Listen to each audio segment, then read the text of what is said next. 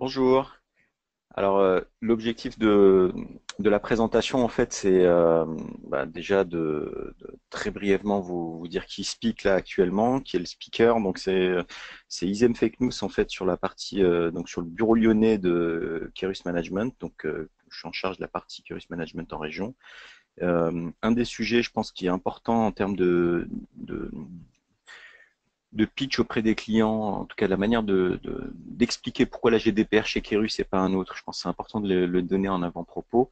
C'est euh, aujourd'hui Kerus c'est un grand un acteur euh, connu et reconnu de la data côté SS2I, euh, techno et autres. Euh, et avec la partie Kerus Management, on donne une, une orientation un peu data governance. Et d'ailleurs, on va bientôt monter un observatoire national de la data gov, et c'est important. Donc, euh, un des éléments sur lesquels on va déjà pitcher, c'est des sujets euh, liés à la GDPR. Pourquoi? Parce qu'on est typiquement dans de la gouvernance de données, euh, protection de données, des thématiques de compliance et de risque autour de la donnée. Donc ça, c'est important de donner un peu ce côté, euh, ce positionnement à la fois de la légitimité qu'on a sur les sujets techno-data, euh, auxquels on ajoute une vraie couche data-gov. Ça, c'est important. Voilà. Ça, donne, un, on va dire, le pivot de tout ça.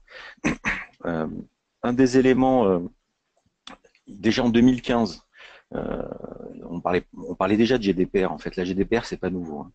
Euh, au niveau des Européens, ils, étaient 80%, 81% estimés euh, euh, qu'ils ne pouvaient pas maîtriser pleinement leurs données. Là, c'était déjà en 2015, mais en réalité, c'était bien plus tôt. Je vais faire un petit brief, je ne vais pas rester longtemps sur ce sujet-là, mais je pense que c'est important d'avoir une visibilité. La GDPR, c'est pas un truc qui arrive en mai 2018 uniquement. D'abord, c'est une loi au niveau de la communauté européenne qui est transposée obligatoirement. En fait, il y a toujours trois ans environ pour qu'une loi au niveau euh, du, de, de, de, l'Europe soit transposable. C'est un délai incompressible. C'est-à-dire quand une loi arrive euh, euh au niveau de l'Europe, elle a trois ans pour être transposée euh, au niveau de chaque pays de l'Union. Euh, donc en réalité, mai 2018, bah, on remonte trois ans avant en réalité. donc le, le, au niveau européen, on le savait depuis plus de trois ans maintenant qu'il y avait la, RGPD. Donc RGPD, c'est en français et GDPR, c'est en anglais. Alors je, pense que ce qui est important de, noter dans ce diagramme d'historique de la réglementation, c'est qu'en réalité, euh, la discussion autour de la RGPD, euh, elle existe depuis très longtemps et qu'en réalité, la RGPD, c'est juste la déclinaison un peu plus high level, un peu plus euh, au niveau communautaire, au niveau européen, d'un sujet qui existe en France depuis euh, très très longtemps, et exactement depuis 78, euh, ou 78, c'était euh, la première loi qui tournait autour de ça, ça s'appelle la loi informatique et liberté. Euh, en réalité, je résume la situation. Si on devait parler à un client en lui disant quel est votre degré de, le niveau de maturité autour de votre problématique GDPR, est-ce que vous êtes compliance ou pas, euh, c'est plutôt dire euh, aujourd'hui si vous êtes déjà compliance autour des sujets de la loi et informatique et liberté, bah, vous allez avoir un pas beaucoup plus petit à faire si vous voulez être compliance autour de la RGPD. Par contre, si déjà ils n'étaient pas du tout compliance autour de la loi informatique et liberté, eh ben là, du coup, le pas va être énorme pour deux raisons. Euh, parce que, en fait, avant la loi informatique et liberté, euh, bah, on était contrôlé par un organisme qui s'appelle la CNIL. La CNIL, euh, au niveau français, c'est l'organe de contrôle euh, autour des sujets informatiques et liberté. Et en fait, ils allaient, ces gens de la CNIL, ils allaient voir euh, euh, des banques principalement, des gros groupes, etc., en disant, in fine, bon, là, vous êtes plutôt planté, là, vous êtes plutôt, vous n'êtes pas forcément aux normes, mais vous allez avoir une prune peut-être à hauteur de éventuellement cette somme, etc. Donc, on était quasiment jamais certain d'avoir une prune c'était pas forcément une loi totalement contraignante, sauf si le contrôleur de la, CNIL estimait que c'était vraiment une atteinte grave euh, et là euh, à, la, à la liberté de, des individus. Et à ce moment-là, effectivement, ça se dit sa discrétion, tout simplement. Euh, autour, c'est la CNIL qui va décider de la hauteur de la prune. Sauf que là, avec la GDPR, on est complètement euh, et clairement, euh, on a des, des, des, prunes qui sont pré prédéfinies, hein, euh, qui peuvent aller jusqu'à 4% du chiffre d'affaires monde. Je, je, l'explique, c'est que si vous, vous avez un groupe européen, vous êtes basé en France, vous avez une énorme euh, structure en France et puis quelques petites filiales en Ukraine, euh, en Espagne, un bureau de vente en Allemagne, etc. Mais en fait, la, RGPD, elle, elle, ne, elle, ne, voit pas l'ampleur et la, la, grosseur des filiales. Ce qu'elle voit, c'est que si vous avez une, vous n'êtes pas conforme en Espagne dans votre petite filiale où il y a juste deux collaborateurs, euh, et ben du coup, vous allez, votre prune va être indexée au niveau du chiffre d'affaires mondial. D'accord, ça c'est quand même important. Donc là, on est, on est dans un environnement contraignant. Ça n'empêche pas, et je pense qu'il c'est bien de le préciser, parce qu'il ne faut pas vendre la RGPD au client uniquement sous l'angle de la peur, et euh, il faut absolument le faire. Euh, le risque de survenance d'une prune, quand même, bah, il est soumis à un contrôle, c'est-à-dire qu'il faut quand même être contrôlé par la CNIL pour avoir potentiellement une prune, et le contrôleur, quand même, ça a sa discrétion de dire, et son expérience de dire si votre business, quand même, il est euh, à, à risque ou pas. Mais voilà, ce qu'il faut savoir, c'est que la RGPD, c'est l'une des premières lois, et je pense que ça ne va pas être la dernière, qui va être vraiment contraignante euh, sur ce sujet-là.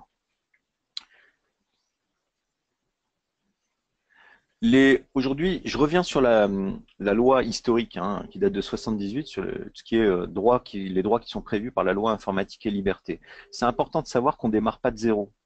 Euh, cette loi, en fait, elle, elle précise plusieurs choses. C'est que je pense que c'est important de, le rappeler. Euh, déjà, il faut, euh, il faut informer l'intéressé sur tous, les, sujets en fait, qui le concernent, la manière dont on va utiliser l'information. Aujourd'hui, tout le monde ne le fait pas. Il n'y a qu'à voir sur les sites web quand on va acheter quelque chose. C'est très rare de savoir que notre nom et prénom va être, va être redonné à, d'autres fins. Éventuellement, on a coché la case qui nous dit qu'on va être recontacté pour des newsletters, etc. Mais en réalité, il y a beaucoup plus de traitements qui sont réalisés avec nos données. Autre élément, identification des traitements euh, et de données personnelles, la notion de sécurisation aussi, euh, qui, est fondamentale. Aujourd'hui, tout le monde, toutes les structures ne font pas une démarche pour identifier toutes les données à caractère personnel. Si vous allez chez quasiment tous nos clients, vous leur dites est-ce que vous avez un mapping de toutes les données à caractère personnel? Ils vont dire euh, déjà j'ai pas un mapping de toutes mes données, euh, peut-être, et encore moins à caractère personnel. Donc ça, ça arrive souvent. Ensuite, la notion de consentement. Ça existait depuis longtemps. Souvent, il y a des acteurs du marché qui disent que le consentement est amené par la RGPD. C'est totalement faux.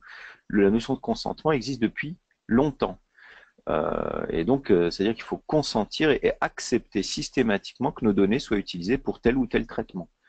Euh, ensuite, sauf, alors il y a une petite exception sur le consentement, c'est sur toutes les notions d'action publique, hein, mais ça je détaillerai pas à ce stade.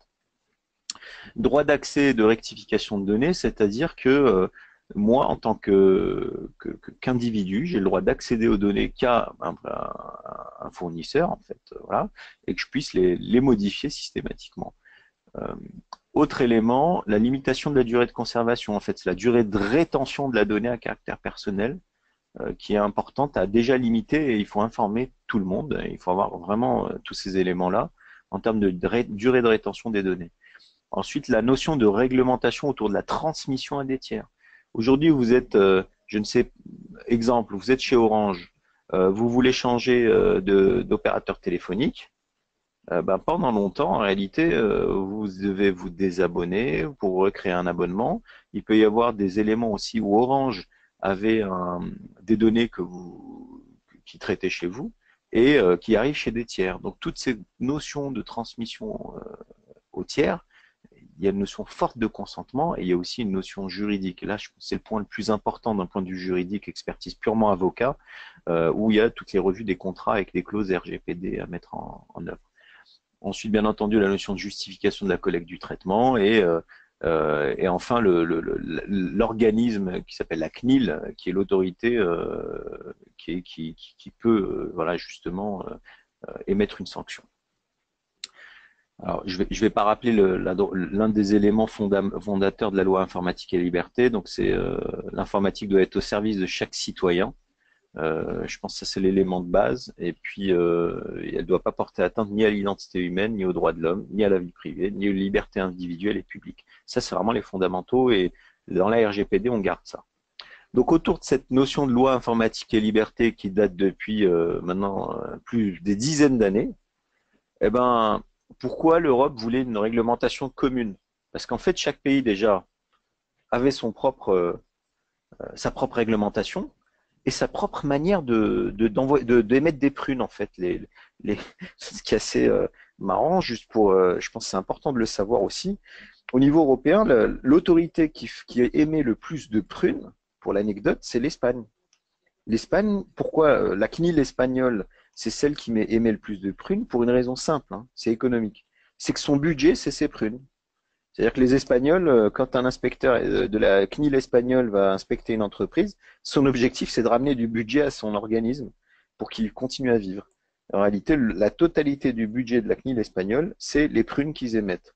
Et donc, en fait, les plus grosses prunes qui ont été émises au niveau européen quasiment, c'est euh, en Espagne. C'est les plus grosses prunes qui ont été émises jusqu'à présent. La CNIL française, il y a un risque de survenance extrêmement faible. La plus haute prune historique est, très basse. Euh, je ne saurais pas me rappeler le, montant, mais il est assez bas. Mais avec la RGPD, ça va changer.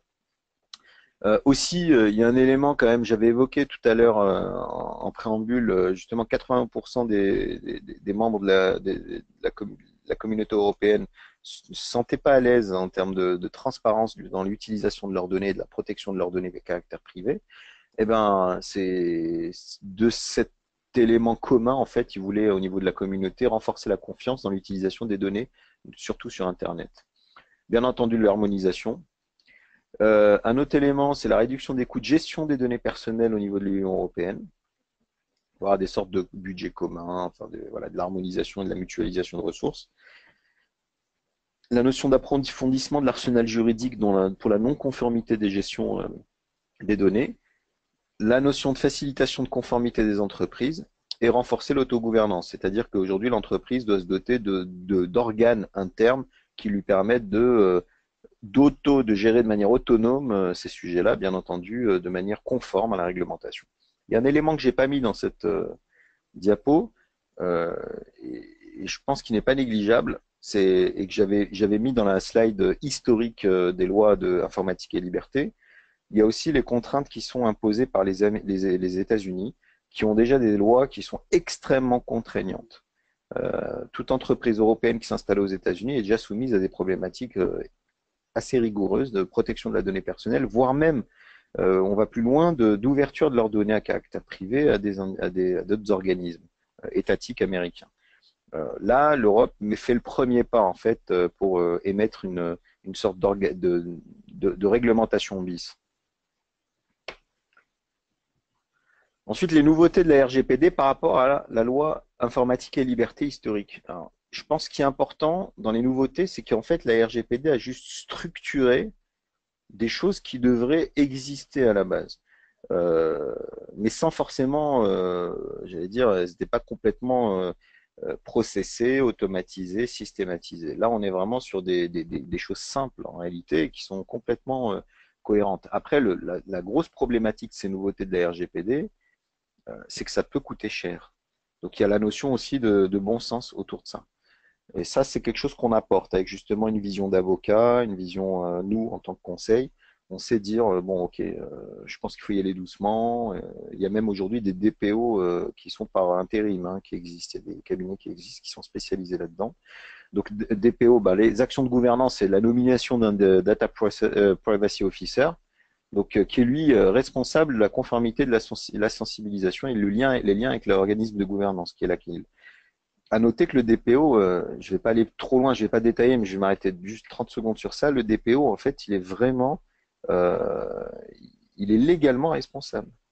Demain, si on se rend compte qu'il y a eu une fuite de données extrêmement impactante et que le DPO était au courant et qu'il a couvert ça, s'il ne réussit pas à démontrer que c'est son patron qui lui a imposé la chose, bah c'est lui qui va aller devant le juge. C'est plus comme avant. Avant, c'était les actionnaires d'une entreprise et les responsables légaux euh, et moraux qui, qui allaient devant le juge. Aujourd'hui, le DPO a une forte responsabilité sur la tête. Donc c'est important, nous, quand on va parler d'un DPO, il sait exactement ce qu'il doit faire. Donc il faut qu'il ait un pouvoir en termes de gouvernance en interne qui permet d'alerter lui-même de manière totalement autonome, de signer des, choses, d'être complètement euh, euh, libre presque de ses actions, parce que demain, il a, voilà, lui, il a une responsabilité légale et civile. Hein. Donc ensuite, accountability, donc obligation pour les entreprises de mettre en œuvre des mécanismes permettant de démontrer le respect des règles relatives à la protection des données, tout simplement de la notion de documentation. Il faut que vraiment qu'ils aient un référentiel autour de la conformité, de cette conformité et de, leur référentiel de données et une capacité d'auto, de ce qu'on appelle le self-assessment autour de ça, donc d'audit euh, interne. Euh, ensuite, la notion, euh, la notification et l'information. Alors ça, ça existait, la data breach notification. Euh, avant, avec la loi informatique et liberté, en réalité, ça existait. Euh, mais avant, c'était uniquement quand c'était des données à caractère personnel. Maintenant, quand c'est même quand c'est pas des données à caractère personnel, on est obligé de notifier. On est obligé d'informer la CNIL systématiquement et c'est complètement ouvert. Avant, ça pouvait rester euh, confidentiel. Maintenant, ça ne l'est plus. C'est-à-dire quand vous allez notifier, c'est une la notification de votre brèche sécurité devient une information publique. Donc vous imaginez quand on a un grand groupe et qu'il lâche une notif comme quoi il a perdu euh, trois emails dans la nature, bah tout, toute la place boursière le saura et donc il y a un impact. Donc en termes d'image, en termes de risque d'image, c'est juste énorme comme impact. Ensuite, One Stop Shop, c'est quelque chose in fine qui existait aussi, c'est la notion de guichet unique, euh, qui permet à une entreprise ayant plusieurs filiales de ne répondre qu'à une seule autorité de contrôle. Avant, c'était l'autorité de contrôle, c'était la CNIL, effectivement, mais quand on parle de guichet unique, en fait, c'est soumis à interprétation, c'est aussi un seul DPO, donc une seule personne qui est en charge de tout au niveau euh, groupe. Euh, ensuite, donc la notion d'anticipation, ça c'est un point extrêmement important. C'est-à-dire qu'au moment où on va créer un nouveau traitement, on va analyser tout ça, donc Privacy Impact Assessment. Donc c'est tout simplement, j'ai un traitement, je vais voir quelles sont toutes les informations, si ce traitement ou cette donnée qui est traitée euh, fuit, euh, quel est l'impact potentiel À la fois en risque d'image, mais surtout pour mon client euh, ou pour la donnée à caractère privé. Comment on peut l'utiliser? Quel est total l'impact? Il faut qu'on mesure l'impact. Privacy by design, c'est au moment où on va concevoir un traitement qui va traiter des données à caractère personnel, eh ben on va tout de suite intégrer dans notre gouvernance et la manière de faire ces problématiques au moment de la conception. Ensuite, euh, privacy by default, en fait, c'est si on n'a pas fait cette analyse, par défaut, bah, il faut qu'on intègre tout ça. Euh, bon, après, les nouveaux droits des citoyens, c'est la notion de protection des mineurs qui rentre en vigueur, mais qui existait, mais là, on est sur de l'information à caractère privé. Droit à la portabilité des données, data breach notification aussi, donc ça, on en a parlé, mais là, on est vraiment sur les droits des citoyens. Euh, renforcement des droits des citoyens, alors le consentement qui arrive de manière... C'est important, c'est un consentement explicite, c'est-à-dire qu'il faut clairement, euh, c'est pas euh, vous avez vous signez vos conditions générales, non non, vous allez avoir des petites cases à cocher, je veux que ma donnée soit là, là, là, etc. L'information de la personne, droit d'accès de la personne concernée, euh, droit de rectification, c'est-à-dire que j'ai le droit de changer, de, de, décider de faire autre chose mes données, droit à l'oubli, c'est-à-dire que hum, je peux faire en sorte que ma donnée soit totalement effacée, droit d'opposition, euh, c'est-à-dire je décide de, refuser que mes, données soient, euh, soient, utilisées de telle ou telle sorte, telle, ou telle manière, et décision individuelle automatisée. Alors, ce qui est important par rapport à cette notion de renfort des droits des, citoyens, notamment sur la notion de, consentement, c'est que vous avez, euh, euh, comment le dire euh, plus précisément Aujourd'hui, il y a une tendance qui est en train d'arriver, et je pense que c'est important. Je l'avais évoqué dans un événement qu'on va vous décrire plus tard. c'est que il y a des, banques qui se mettent à vendre la capacité à utiliser des, données à caractère privé. je donne un exemple. Il me semble que c'est le nouveau DPO de la Société Générale qui vont, ils proposer tout simplement, ils vont vous dire, voilà, est-ce que vous nous permettez d'utiliser vos données à caractère privé de, telle manière. Et en échange de votre acceptation, eh ben, vous allez avoir une remise, une décote sur votre traitement, euh, sur les frais bancaires. Donc en fait, on va monétiser l'utilisation de vos données à caractère privé. Ça, c'est une tendance qui va arriver. Alors, c'est pas encore total, mais c'est un des éléments qui, parce que de toute façon, la donnée à caractère privé, c'est une donnée utile et monétisable. Donc ça, c'est important. Je passe à la suite. Alors, les données à caractère euh, personnel, là, c'est les DCP, ce qu'on appelle les DCP. Les données à caractère personnel euh, sont divisées en plusieurs catégories qui sont complètement réglementées. Hein. on est complètement dans un caractère normé. Donc un DCP, c'est un état civil, nom, prénom, identité, données d'identification, la vie personnelle, situation familiale, etc. Ça, c'est les DCP courantes, d'accord Les adresses IP euh, et autres. Les DCP qui sont perçus comme sensibles, bah, le numéro de sécu social, les données biométriques et les données bancaires, ce qui est normal parce qu'on a un, un risque d'un impact supérieur. Et les données à euh, caractère privé euh, sensibles au sens de la loi informatique et liberté, c'est-à-dire avant, on n'a pas attendu la GDPR pour que ça existe, bah, c'est les opinions euh, philosophiques, politiques, religieuses, syndicales, etc. Alors, les infractions aussi, la notion de casier judiciaire. Mais vous notez que sur la partie casier judiciaire, on n'est pas totalement en phase avec la réglementation, l'équivalent de la réglementation aux États-Unis, où la notion de de, traces euh, juridiques euh, est complètement ouverte aux employeurs. Ensuite, euh, au niveau de la méthode, si on doit demain accompagner un client sur des problématiques de en conformité autour de la RGPD, ce qui est fondamental, je ne vais pas aller dans le détail dans cette présentation, mais ça c'est vraiment une diapo qui juste permet de préciser comment ça marche. Sur cette slide, on a d'abord, on va cartographier. L'idée, c'est dans une grande ligne, c'est de savoir ce qui se passe dans cette entreprise. On va faire l'inventaire des, traitements, euh, on va euh, vérifier les applis, les portails, les contrats, qui, euh, pourquoi, d'où et vers où, quand, comment, etc.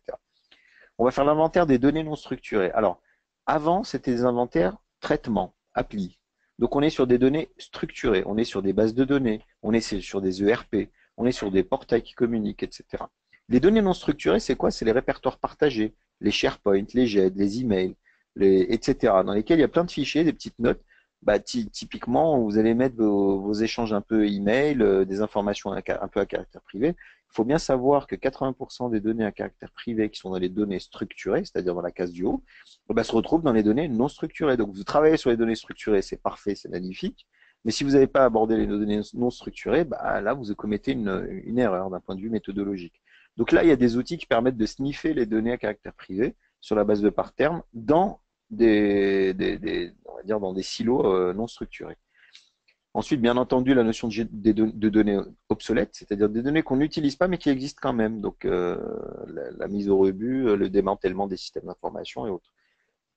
Typiquement, dans les mutuelles ou les assurances, on a toujours ce qu'on appelle les bases de données historiques qui gardent quasiment des historiques de 10 ans mais vraiment avec des, incidents, des, sinistres, le nombre d'accidents de la personne, alors qu'on l'utilise plus, on l'utilise à des fins statistiques pour anticiper euh, la tendance de la personne, mais en réalité elles sont pas anonymisées. Donc en fait c'est des bases complètement euh, qui, doivent rentrer dans le périmètre de la GDPR. Et bien entendu la notion de droit d'accès aux données personnelles. Euh, on, l'oublie, c'est que c'est très bien de sécuriser, d'identifier, de documenter les traitements, mais il faut aussi vérifier que tout le monde n'y a pas accès.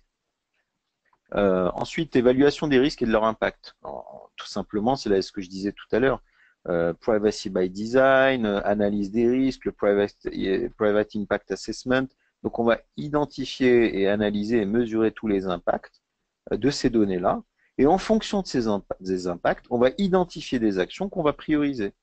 D'accord? Donc des plans de compensation, des plans d'atténuation, des, actions de rémédiation, etc. Donc on va l'objectif c'est pas de couvrir 100%, on n'y arrivera pas. Il faut être raisonnable. Par contre, ce qu'on va faire, c'est en fonction des impacts les plus importants et de la donnée, du typologie de données, on va calculer et, identifier euh, la priorisation des actions. Et sur cette base-là, eh ben, on va construire une feuille de route. Euh, dedans, on va sensibiliser, organiser des et avec des formations, des communications sur la protection de données, la revue de processus, euh, avec des guides de bonnes, de bonnes pratiques notamment.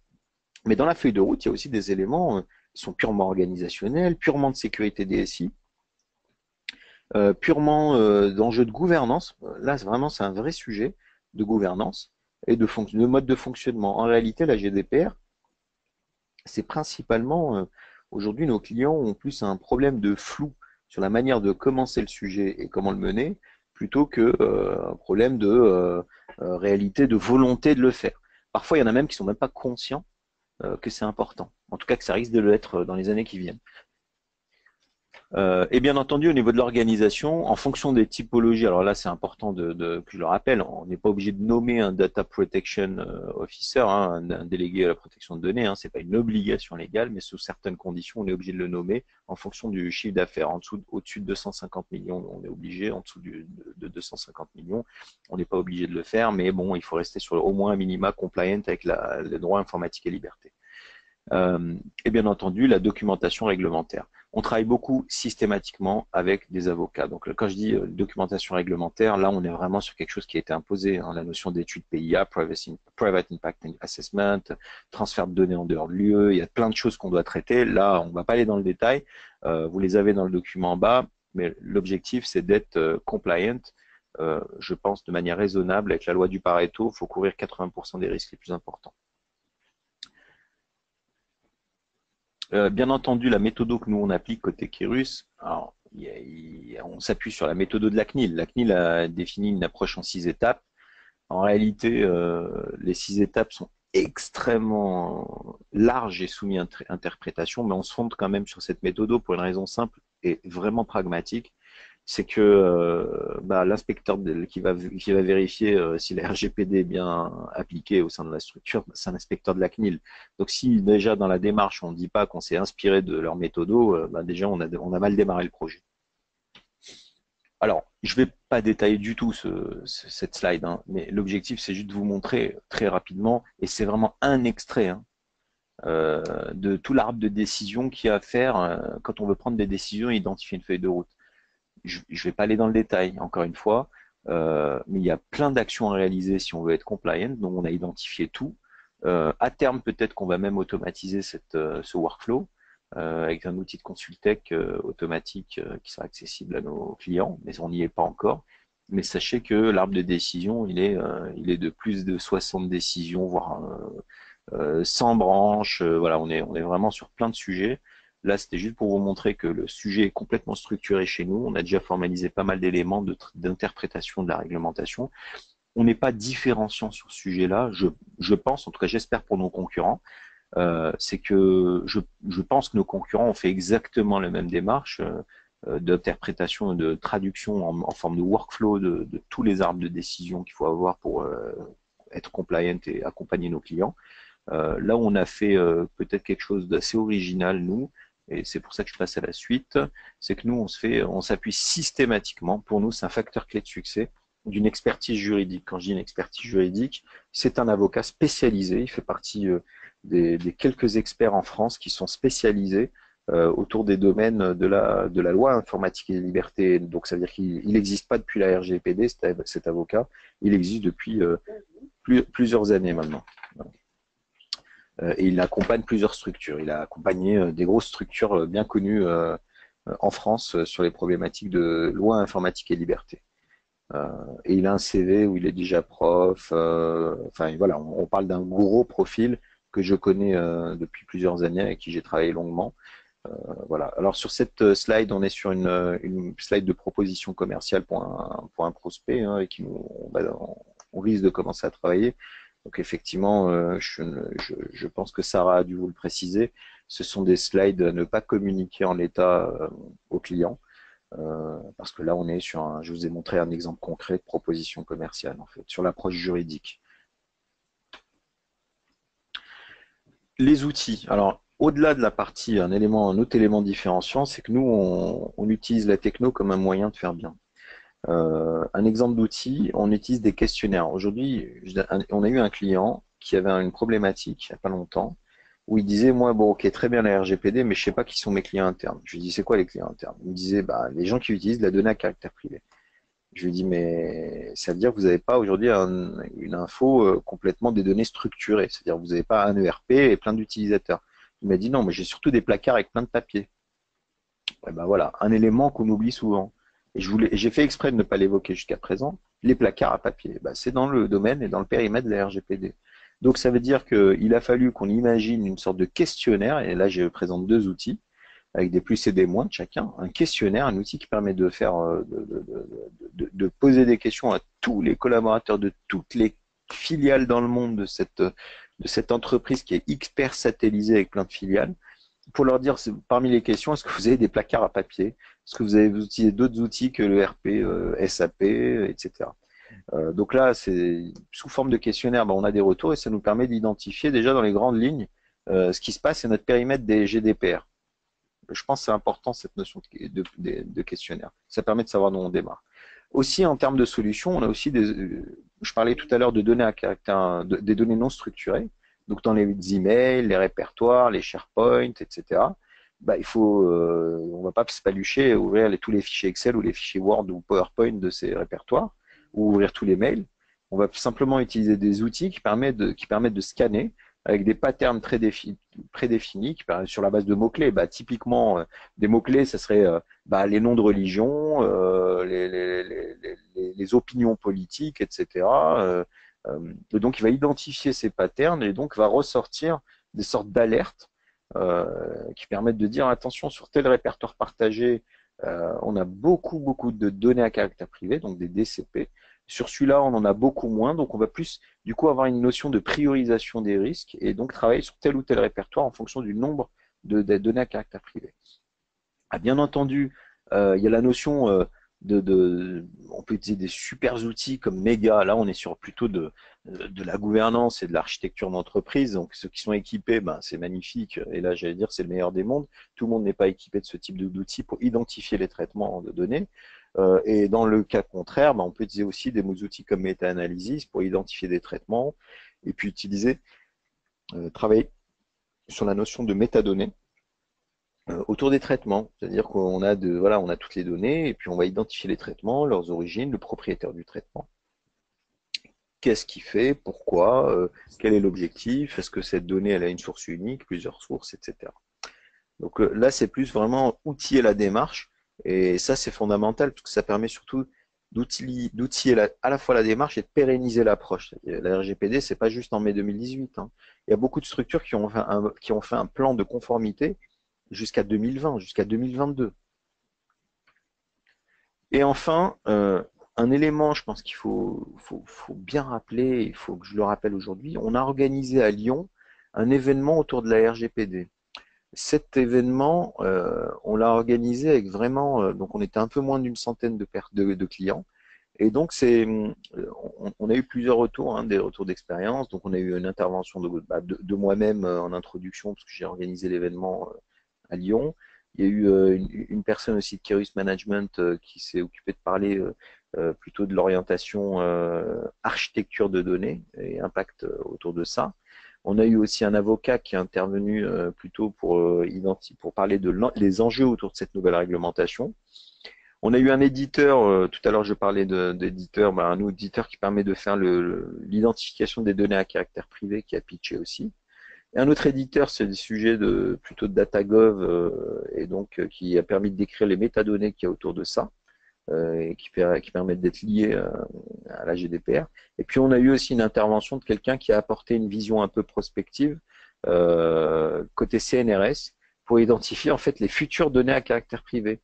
Donc c'était extrêmement intéressant sur ce thème-là. D'ailleurs, tout le monde a été vraiment plutôt bluffé sur cette, sur cette approche-là du CNRS. Et, et, bien entendu, on a eu retour d'expérience groupe SEB sur la partie plutôt euh, comment ils ont fait en sorte d'intégrer les, problématiques du GDPR dans leur quotidien euh, et euh, plutôt le, transformer une contrainte comme une opportunité. Voilà dans les grandes lignes hein, les sujets. On a aussi des relations avec XPO sur ces, sujets-là, qui a plutôt eu un enjeu jusqu'à présent pour initier la démarche euh, comment trouver un sponsor en interne sur des sujets GDPR, comment le vendre en interne. Et j'ai eu d'ailleurs, c'était assez intéressant, durant cet événement, j'ai eu quelqu'un qui était en train de me dire, écoutez, j'aimerais bien que vous m'aidiez à expliquer à mon, au comité de direction et au COMEX de mon entreprise que la GDPR, c'est un vrai sujet. Donc ils avaient du mal à marketer le besoin, en fait. Euh, voilà dans les grandes lignes euh, ce qu'il y a à noter sur cette, sur cette problématique GDPR. Euh, moi, je pense que ce qui est le plus important sur ce sujet-là, pour pouvoir vraiment le vendre, c'est qu'on ait un vrai sujet. Alors, il y a deux éléments. On est sur un sujet, euh, entre guillemets, connexe et dans le carrefour des problématiques data, euh, où on est très très bon techniquement. Et des problématiques conseil et data gov, data gouvernance qu'on pousse aussi via Kerus Management. Voilà dans les grandes lignes et peut-être pousser aussi qu'on va, qu'on va monter sous peu un observatoire national de la gouvernance de données et de la qualité de données euh, avec le CNRS et un éditeur de qualité, de, un éditeur de logiciels autour de la qualité de données, autour de Solva 2, euh, BAL 3, etc.